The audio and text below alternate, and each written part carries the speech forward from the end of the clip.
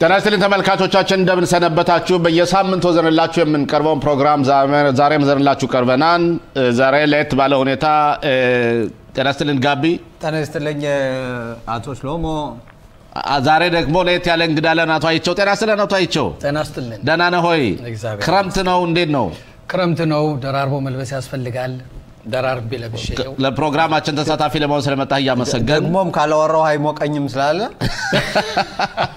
የዛሬው የመጀመሪያው አጀንዳችን የሚሆነው ብዙ ጊዜ ስለ ኢትዮጵያ የሆነ ዛሬ የምናወራው የመጀመሪያው አጀንዳችን በትግራይና የፌዴራል መንግስት ባደረጉት ስምምነት በተለይ ኢትዮጵያ ውስጥ ከሚታየው ተጨባጭ ሁኔታ የተነሳ ሂደቶች እንዴት እየሄዱ ናቸው የሚለውን ሁኔታ ሰፋ ባለ ሁኔታ እናያለን። ስምምነት አለ ወይ? ወይል ስምምነት አለ ብለው የሚያስባሉ፣ ስምምነት የለም አሉ። ይህን እስቲ በደንብ አድርገን እናየዋለን። እንደሚታወቀው ሁሉ የፌዴራል መንግስትና የትግራይ ህዋት በመጀመሪያ ደረጃ ህዋትን የ terror group ነው ተብሎ ተፈርጆ ነበር። ምንም የተፈረጀበትን ምክንያት ሳይቀይሩ እንኳ በህገ መንግስቱ እንደገና ወደ ሰላም ብለው ወደ ፕሪቶሪያ ጀምረታን ከፕሪቶሪያ ወደ ኬንያ ደግሞ ጉዳዩን ለማስፈጸም ናይሮቢ ላይ ስብሰባ ተደርጎ ነበር። አሁን በአጠቃላይ ባለፈው ሳምንት ደግሞ የአፈ ጉባኤው የፌዴራሉ አፈ ጉባኤ እሳቸው የመሩት ልኡካን እ፣ ስምምነቱን ለመተግበር ሂደው ነበር። በአንድ በኩል ህዋት የጦር መሳሪያ ከባድ መጣሪያ መሳሪያዎችን አልሰጠም፣ ምንም ያደረገው ነገር የለም። በአንድ በኩል ግን የተጧጧመ የተጧጧፈ መስሎ ይመጣል። ወደ አይቸው ከመሄዳችን በፊት እስቲ አቶ ጋቢ ያለን ሀሳብ ስጥና እርግጠኛ ነን ወንድማችን አይቸው ለየት ያለ ሀሳብ ይኖረዋልና የበለጠ ማብራሪያ ይሰጠናል። እስቲ አንተን መጀመሪያ ስማ።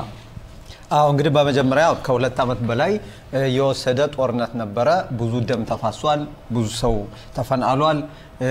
በርካታ ህይወት ጠፍቷል። አሁን በርካታ አይደለም በብዙ ሺህ የሚቆጠር ህይወት በርካታ ጠፍቷል። ማለት እንግዲህ እኔ በቁጥር ውስጥ ሳልገባ በርካታ ሰው ሙቷል።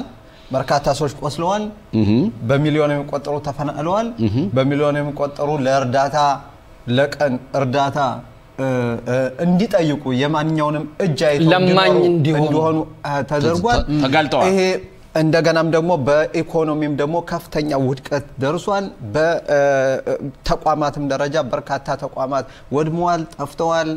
የጤና ጥበቃ ተቋማት ያ ሁሉ አሁን ከሁለት ዓመት ጦርነት በኋላ የተገኘ ነገር ቢኖር አስከሬን ብቻ ነው፣ ደም መፋሰስ ብቻ ነው።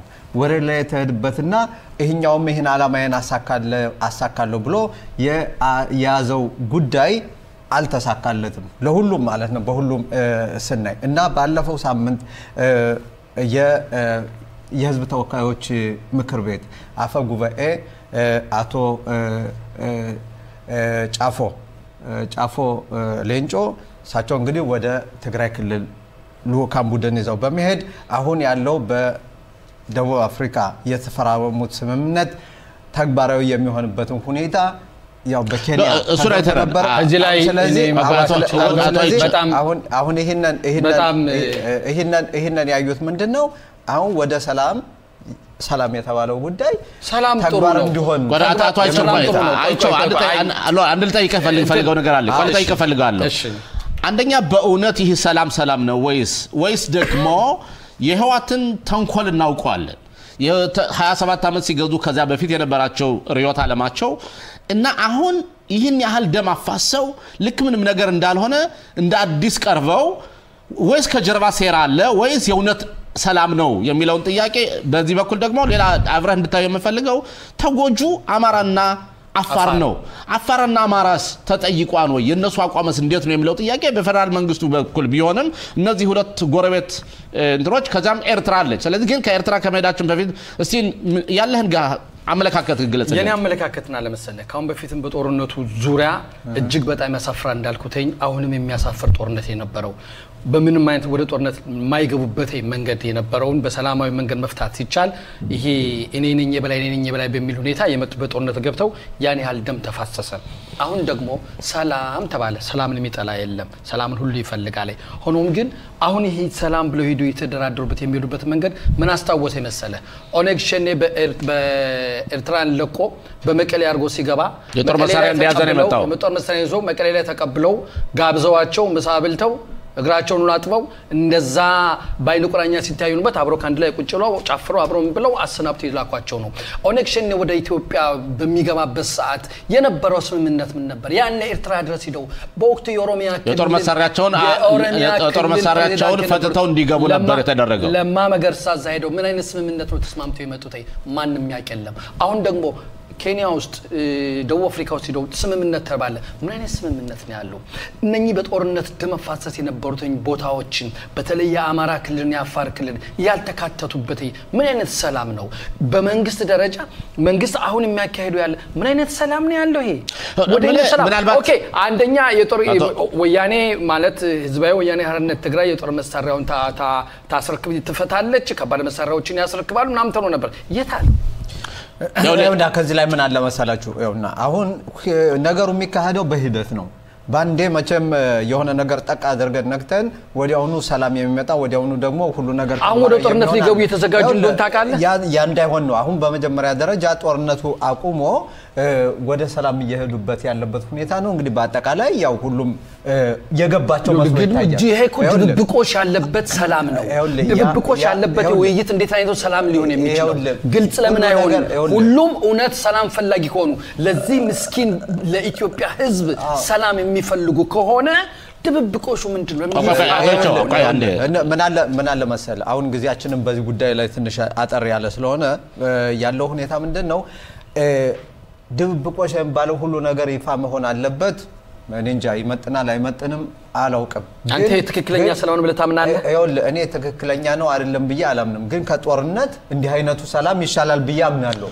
ከጦርነትና ከመገዳደል ማለት ነው። ይሄ እኮ የተቃጠለውን እሳት ማጥፋት ብቻ ነው። መጀመሪያ እሳቱን ያዳፈኑት እኮ ያዳፈኑት አቶ ጋቢ ግን ከገረመኝ ነገር ልንገርህ፣ ከሁሉም ነገር ያየ ነው ማለት ነው። ያን ያህል ሁሉ ደም ተፋሶ የሰው ልጅ እንደ ቅጠል ረግፎ ሞተው አሰቃቂ የሆነ እርጉዝን ለምሳሌ ጽንሷን እያወጡ እያረዱ አንዲቱ ደግሞ እንዳየነው እንደሰማነው ለምሳሌ አንዲት ሴት እርጉዝ ሁና ወልዳ ከወለደች በኋላ ያዋለደቻትን የአማራ ሴትዮ ገላ ልጆቿን እዛ ጥፋት ያ ሁሉ እያለ እኔ ግን ሊ- ሊገርመኝ የቻለው እንዴት ነው የጦር ተጠያቂዎች ወንጀል ተጠያቂዎች ሳይባል የተደረገው ስምምነትና እየተቃቀፉ አሁን የምናያቸው ስምምና ፊታቸውን እንኳ ትንሽ ኮስተር አያደርጉም። በተለይ የፌዴራል ተሟጋቾች በጣም የሚገርም ነው። ግን ለማንኛውም ይህ ጉዳይ ገና ብዙ ደቡብ አፍሪካ ውስጥ ስምምነት ላይ እሺ። ብለው ገርበው አንገታቸውን ደፍተው የሀዘን መግለጫቸው እንዳዘኑ ሲታዩ በህዝብ ላይ ማሾፍ አይደለም። እሺ እሺ እንግዲህ ይህ ሰፊ- ነው እንግዲህ የኢትዮጵያ ጉዳይ ሰፊ የሆነ ቦታ ሰፊ የሆነ ጊዜ የሚያስፈልግ ነው። አሁን ደግሞ ወደ ሁለተኛው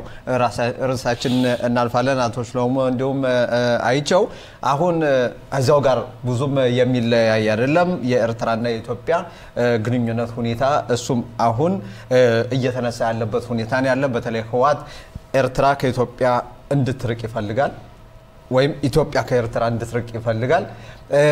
በኢትዮጵያ መንግስት በኩል ግን በተለይ ትላንት ለምሳሌ አሁን የዶክተር አብይ የብሔራዊ ዋና አማካሪ የደህንነት አማካሪ ኤርዶዋን ሁሴን አምባሳደር ሬድዋን ሁሴን ያሉት ምንድን ነው? ኤርትራን መንካት አይታሰብም። ምክንያቱም ኤርትራ ባለሙያ ባለውለታችን ነች። ባለውላት- ባለውለታችን ነች።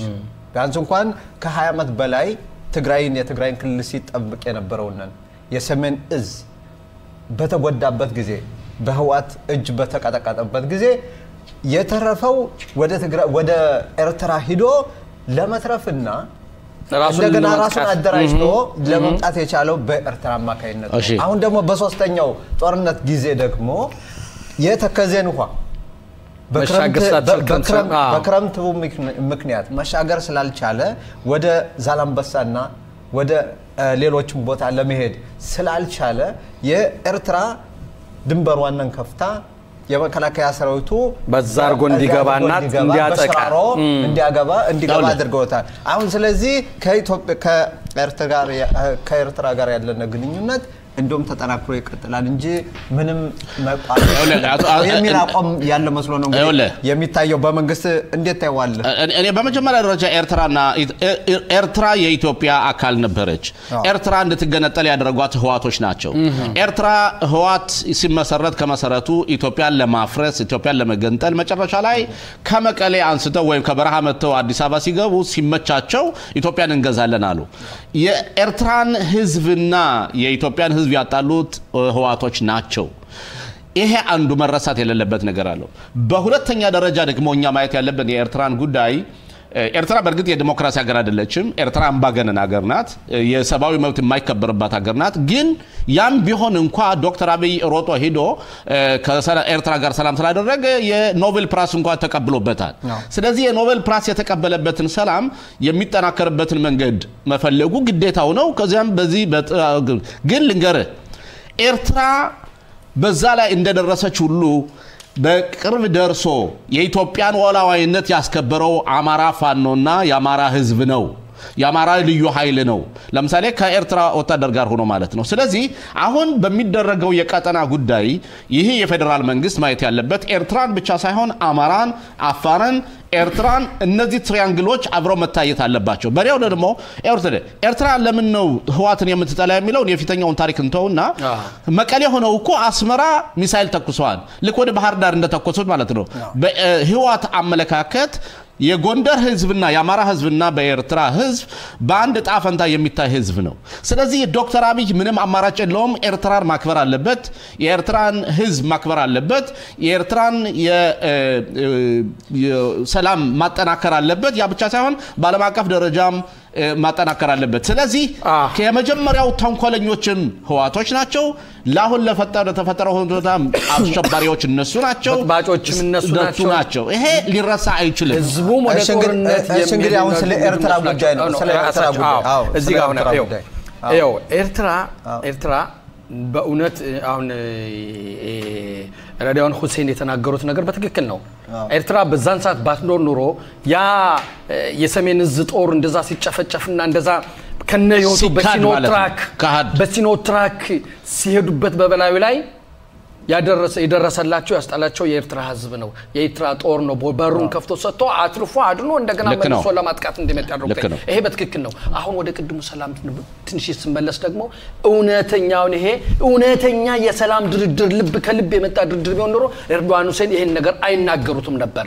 ምክንያቱም ህወሓት ማለት አሁን ትናንትና ሽብርተኛ ብሎ የፈረጁትን አሁን ሽብርተኛ አይደለም። ድሮም የኤርትራ የኢትዮጵያና የወያኔዎች ጦርነት መንግስት የነበረው የነበረው ቤቱ ኦኬ፣ ይኸውልህ፣ እዚህ ላይ ምን አለ መሰለህ ውስጥ ምሽሎክሎክ የሆነ ያልጸዳ ነገር አለው የሚጸዳ ነገር መሆን አለበት ጸድቶ መምጣት አለ ይሄ ትክክለኛ የሰላም መንገድ አካሄድ አይደለም አይቸው፣ ቆይ። ሁሴን ያሉት እዚህ ላይም የኤርትራን ህዝብ ኤርትራን መንካት ማለት እውነታቸውን ትክክል ነው ይኸውልህ፣ ምን በችግር አለ ጊዜ የደረሰልን? አንተ መንግስት መንግስት አትችልም። ህግ መደንገግ ይችላል፣ ውሳኔ መወሰን ይችላል፣ ውሳኔውን መቀልበስ ይችላል፣ ያን እንደፈለገ ማድረግ ይችላል።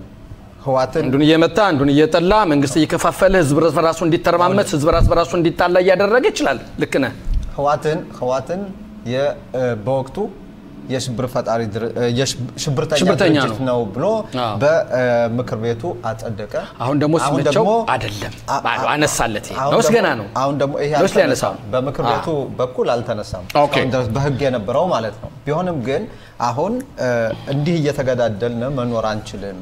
ብዙ ደም መፋሰስ የሚቆም ከሆነ እኛ የወሰንነው ውሳኔም የተቀደሰ ውሳኔ ነው እና መነካት አይቻልም የሚባል አይደለም። እሺ ስለዚህ ግን በእውነተኛ ድርድር ያሉት እውነተኛ የሰላም ድርድር እኛ እኮ እኔ እኮ አሁን እኔ አመለካከት እኔ እኔ አመለካከት እኮ የሰላም ድርድሩን ጠልቼ አይደለም ከኤርትራም ጋር ከማንኛውም ጋር በሰላም ቢኖሩ መልካም ነው። ኤርትራ ኤርትራ ይኸውልህ ኤርትራና ኢትዮጵያ ምንጊዜም በምንም ታምር የማይላቀቁ ወይም ደግሞ ለብቻ መኖር የማይችሉ ናቸው። በነገራችን ላይ ኤርትራ ስትገነጠል ኢትዮጵያ እውቅና ባሰጣት ነው ኤርትራ እንደ አትም- አትመሰረትም ነበር። እንደሚባለው ከሆነ ህዋቶች ናቸው ያን ያደረጉት። እንደሚባለው ከሆነ ወዲያውኑ ወደ አዲስ አበባ እንደገቡ ኢሳያስ አፈወርቂ የኤርትራው ፕሬዝደንት ያን ያሉት ምንድን ነው? እኔ እንዲያውም ኤርትራ እንድትገነጠል የሚለውን አቋሜን ያንትቻለው ከኢትዮጵያ አንድ ኢትዮጵያ ሁነን መኖር እንችላለን። ህወሓቶች ናቸው ያፈረሱት በፌዴሬሽን ምክር ቤት ውስጥ በዚያው አብረን ተካተን መሩ እንችላለን። ግን ያኔ በወቅቱ የነበሩት የህወሓት አመራሮች ያሉት ምንድን ነው? አይሆንም አይሆንም። ይህ ጥያቄ ሀሳብ ነበራቸዋ። የኤርትራ ለምንድን ነው ጥያቄ- እንደዚህ ያሉት? የኤርትራ ያልተስማሙበት ዋነኛው ምክንያት የሚባለው ኢሳያስ አፈወርቂ በኢትዮጵያ ላይ እሱ የበላይነትን ያገኛል በተረፈ ደግሞ ታላቂቱ ትግራይ የሚሉትን ራሳቸውን ገንጥለው ከዛም በኋላ ኤርትራን አጥቅተው ራሳቸው የራሳቸውን ታላቂቱን ትግራይ ሊመሰርቱ የፈለጉት ኤርትራንም ለመውረድ ስለፈለጉ ነው።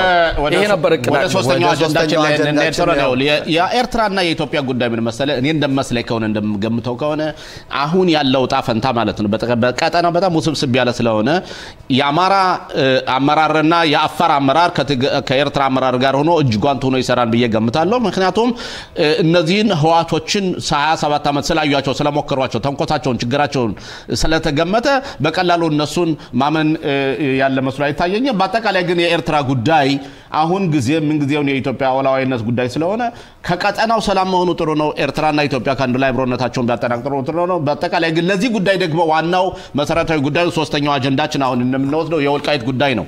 ወልቃይት እና ለምሳሌ ሁመራ ያለው ኮሪደር ኤርትራ ውስጥ እነሱ ለምሳሌ ኤርትራ ትግራይ እንትን አማራ ሱዳን የሚያዋስን ቦታ የአካባቢ ያለ ሁኔታ ለምሳሌ የወልቃይት ሁኔታ በጣም ወሳኝ ነው። በነገራችን ላይ ወልቃይት ከመጀመሪያውን ግልጽ አድርገን መናገር የሚገባ ማህበረሰባችን ማወቅ የሚገባው ወልቃይት ምንጊዜም ቢሆን የአማራ እ፣ ክልል ነው የነበር። ይሄ ምንም ጥያቄ የለውም። ያ ብቻ ሳይሆን መተከል አካባቢ የተወሰደው መሬት የአማራ መሬት ነው። ራያ አካባቢ የተወሰደው ራያ መሬት ነው። ወልቃይትን ጉዳይ በምናነሳበት ጊዜ ተመልሰን ሄደን የህዋቱን ተንኮል ማስተዋስ ይኖርብናል። እነሱ የፈለጉት ለምሳሌ ትግራይ ለማማ አገር ስላልሆነች ከየትኛው ቦታ እንቦጭቅና የትኞችን ባልደረቦቻችን እንስጥ ነው። መተክልን ወደ ሌላ ቦታ ወደ ጉምዝ በሚሰጡበት ጊዜ ወይም ኦሮሚያ በመሬት በሚመርቱበት ጊዜ ምንጊዜም ቢሆን አይናቸው ከወልቃይትና ጠገዴ ጋር ስለነበረ ራያን ለመውሰድ የተደረገ ነገር ነው። በነገራችን ላይ ወልቃይትን ያጸደቁት ህገ መንግስቱን ያጸደቁት መሬቱን ከወሰዱ በኋላ ከወሰዱ ነው። በኋላ ነው። ከወሰዱ በኋላ ነው። ስለዚህ በዓለም አሁን- አቀፍ ደረጃ አሁን እኔ ግን የሚገርመኝ አሁን ያለው ለምሳሌ በወልቃይት ላይ ያለው የመንግስት የፌዴራል መንግስቱ አቋም ግልጽ አልሆነልኝም። አሁን ምን ማለት ነው? ለምሳሌ ህገ መንግስቱን አልቀየሩትም። መቀየር ይችሉ ነበር በዚህ ሶስት ዓመት ሁለት ዓመት ውስጥ የተ- አንተ በግድ የወሰድከውን መሬት እንደዛ ስለዚህ በአንተ ትወስዳለህ ማለት ነው። ስለዚህ ይህ ወልቃይት በጉልበት የተወሰደ መሰለ ወደ አማራው በደም ተመልሷል። ከተመለሰ በኋላ አሁን ያለው ድርድር ምንድን ነው? ለምን አስፈለገ ድርድሩ ነው? ይሄ ጥያቄ።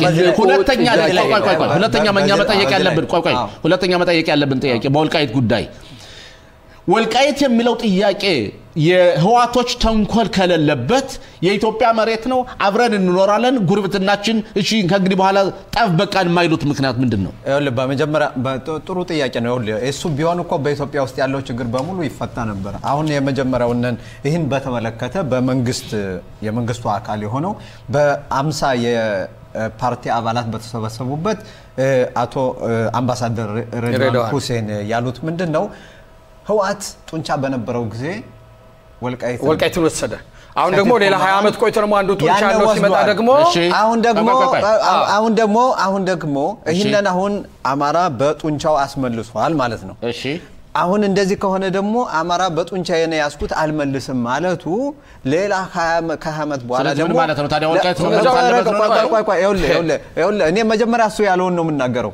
መጀመሪያ ደረጃ ስለዚህ okay okay። ስለዚህ አሁን ያለው ለምንድን ነው ምንድን ነው? እሱ እንደው አሁን የመንግስቱ አካል በፌዴራሉ አዎ። መንግስት መሰረት መፍትሄ ይሰጣል በፌዴሬሽን ምክር ቤት ይኸውና እንዴት ነው? አሁን ይኸውልህ የሚለው ይኸውልህ በወልቃይት በኩል?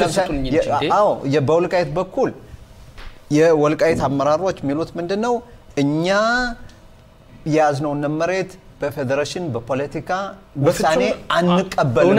ብለዋል። እውነት አሁን የማዕከላዊ መንግስቱ የሚለው ምንድን ነው ደግሞ በፌዴሬሽን በህገ መንግስቱ መሰረት በፌዴሬሽኑ ምክር ቤት ቀርቦ የሁለት ክልል የሁለት ክልል ለምን?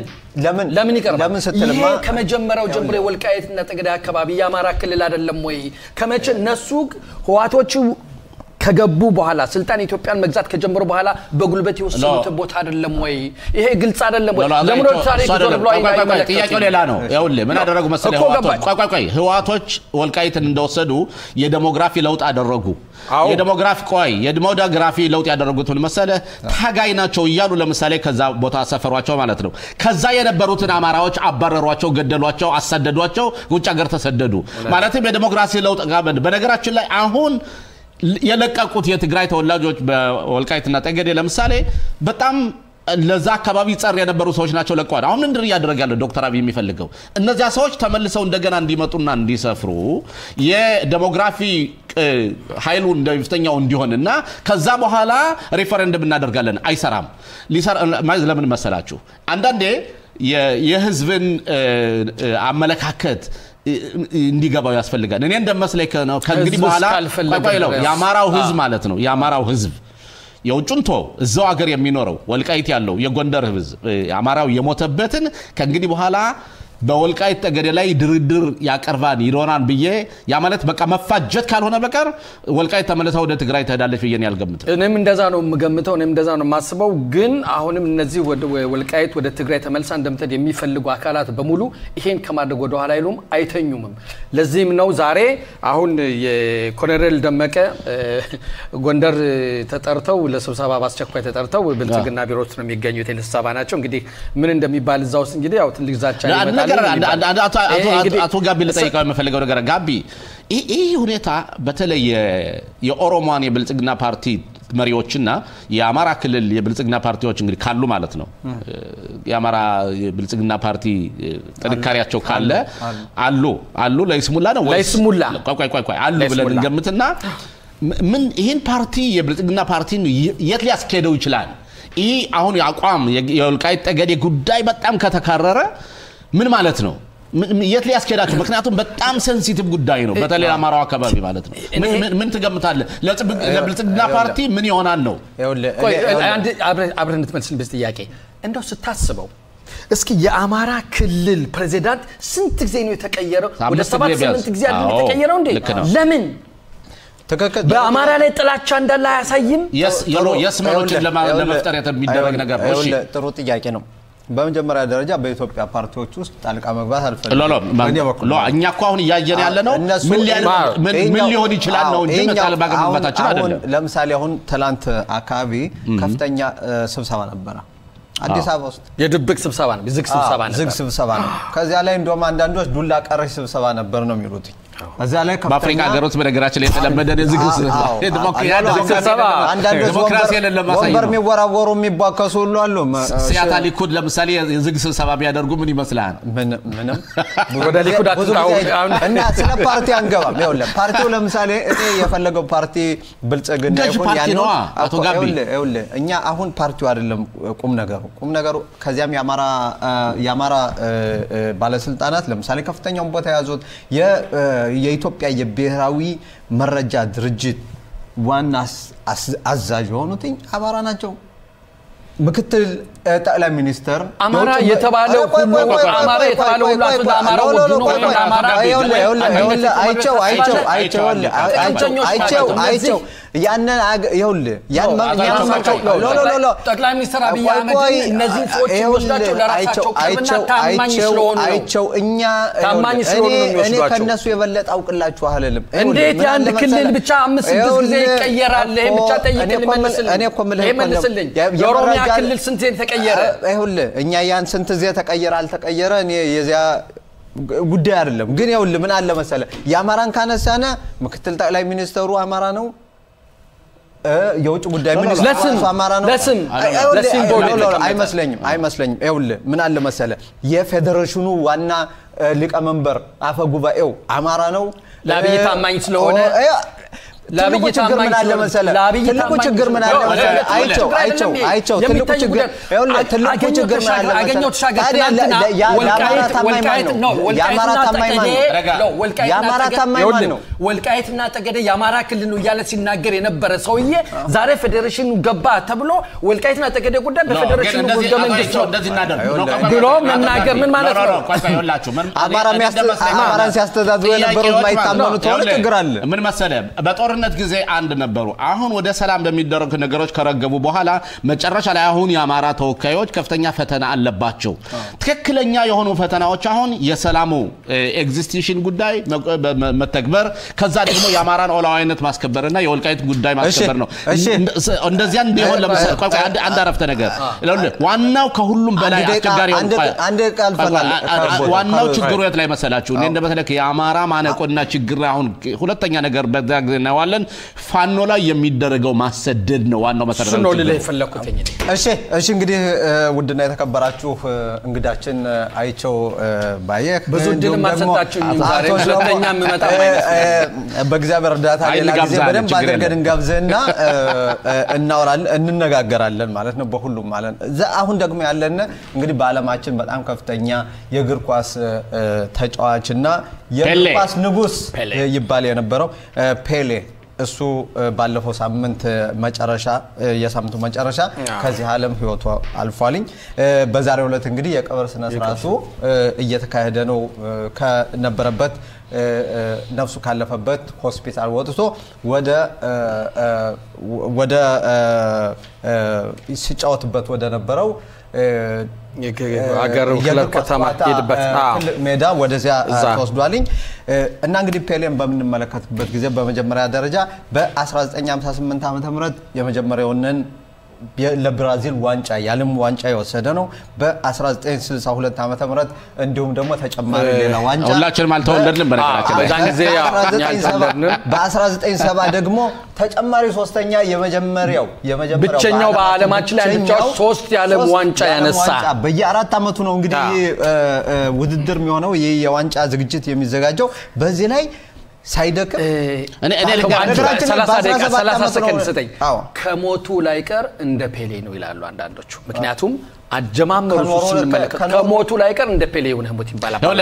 ያለ ምንድን ነው ገና መጀመሪያው ሲጀመር በእግር ኳስ ሲጀምር በጨርቅ በካልስ እና እኛ ድሮ ስንሰራ ነበር። በሱ ጀምሮ ከድሃ ቤተሰብ ቀን ኳስ የተጫወተ ማታ ከሰዓት በኋላ ሊስትሮ እየጠረገ ቤተሰቦች ሲያስተዳድር የነበረ ሰውዬ ዛሬ ግን ያን ሁሉ ውጣ ውረድ አልፎ እስከ 2016 ድረስ የመቶ ሚሊዮን ትርፋማ የነበረ ሰው ነው እና ሁሉንም ችግርንም ደስታንም መስጠትንም ያየ ነው። ተምሳሌት ዋናው ደግሞ ለዓለም ተምሳሌት ሆኖ ማለፉ እኔ እኔ እኔ ፔሌ እኔ እንደሚመስለኝ ከሆነ በመጀመሪያ ደረጃ ለእግር ኳስ ተጫዋቾች አድናቂዎች ብቻ ሳይሆን ይኸውልህ ምን መሰለህ? በዛኛው ዘመን ማለት ነው። በስልሳኛው ዘመን በአምሳኛው ዘመን በሰባኛው ዘመን ጥቁር በጣም እንደወረደ ሆኖ የምታይበት ነጭ የገነነበት የኢምፔሪያሊዝም አመለካከት ያላቸው ሰዎች አለ ነጭ በቀር ጥቁር ጥሩ ውጤታማ አይሆን ብለው የሚያምኑበት ዘመን ነው። ገባ ያኔ ነው ለምሳሌ በሙዚቃ ደግሞ ስነ ቦምባርሌ በዚህኛው ተጫዋቾችና እስከ 50 እኛ ዓመት ፊልም ነው ለ- ተጫውተዋል። ይሄ ሰውዬ ማለት ነው። የጥቁር ሰው የጥቁር ሰው ሲምቦሊክ ስለሆነ እኔ አከብረዋለሁ በጣም በጣም የኳስ ጨዋታውን ብቻ ከሀምሳ በላይ ፊልሞችን ተጫውቷል። በነገራችን ላይ ሙዚቃም ያቀነቅናል።